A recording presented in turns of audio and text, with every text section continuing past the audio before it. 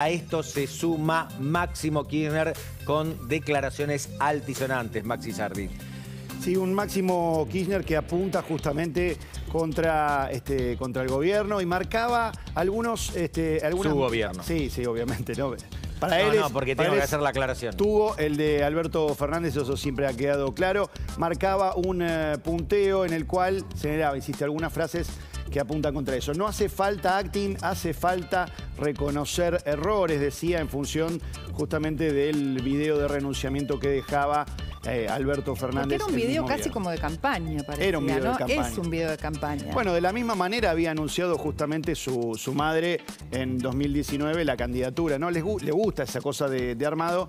Eh, fue mucho mejor que en la pandemia estuviera Alberto que Macri, el guiño finalmente, eh, también Alberto Fernández, donde insistió también Máximo Kirchner en la necesidad de tener un plan para que después no haya sorpresas. Esto era justamente lo que decía el hijo de la vicepresidenta en este acto que el sábado... Yo tengo mucho para decir con respecto a esto. vamos a escuchar a Máximo?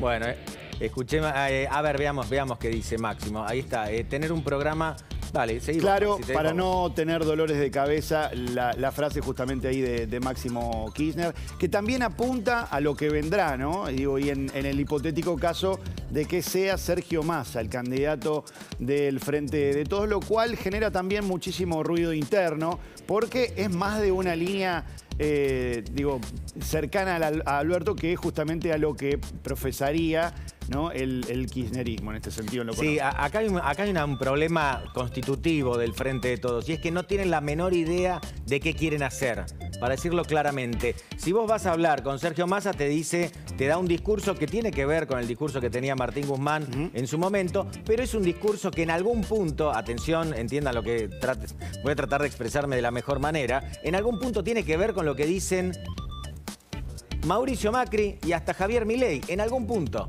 lo que dice Massa, orden fiscal, eh, bueno, administrar un poco mejor el Estado, que ingresen más dólares. Esto está en todos los manuales. Massa dice esto. Cuando hablas con Cristina Kirchner, te dice no importa emitir, no importa la inflación, lo dijo ella, no lo digo yo.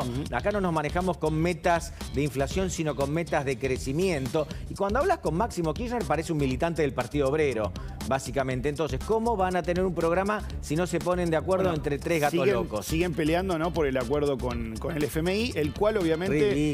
El cual obviamente más ha llevado adelante, este, no te digo a raja tabla, pero cumpliendo ciertos pasos, las revisiones, etcétera. Sí, claro que sí. Bueno, Massa cuando va a Estados Unidos eh, lo, reciben bien. Massa se ha preocupado por mantener una relación con Estados Unidos, la misma relación que irrita a Máximo Kirchner y a Cristina Kirchner, con lo cual, entre tantas diferencias, es imposible que surja un programa común. Maxi, tu, tu conclusión sobre esto. No, esto mismo, digo, después eh, Cristina dice ¿no? que se junta con todos, pero, insisto, no, no tiene en sus planes eh, ese tipo de recorte que haría falta para enderezar la economía. Claro, y quiero eh, discutir con vos, Maxi, este problema que se le está presentando ahora al frente de todos con la idea de ir a una paso realmente competitiva. ¿Le puede efectivamente hacer daño, por ejemplo, Victoria Tolosa Paz a Axel Kisilov en la provincia de Buenos Aires? ¿Le puede hacer daño eventualmente Daniel Scioli a un Sergio Massa, candidato presidencial?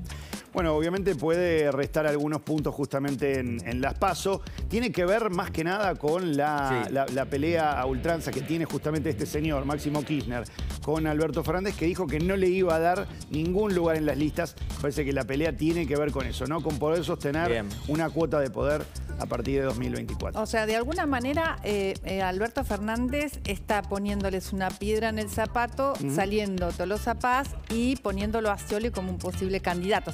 Serían sus Scioli se coloca solo. ¿Eh? Exactamente, Scioli se coloca solo. Scioli, no es, Sciolista, no es albertista, ¿no? Ah, no, no, no tiene un link ahí con, Alberto. Lo que entiende Scioli, después lo vamos a desarrollar, tiene que ver con esto. Cuanto más este, separados se muestre los dos líderes del Frente de Todos, mejor es su chance. Sí, yo creo que es importante posible lo de Scioli. Sí, Mariana, si puedo responderte a tu pregunta, creo que Victoria Tolosa Paz en la provincia de Buenos Aires puede tener cierto poder de daño con, con Axel Kisilov.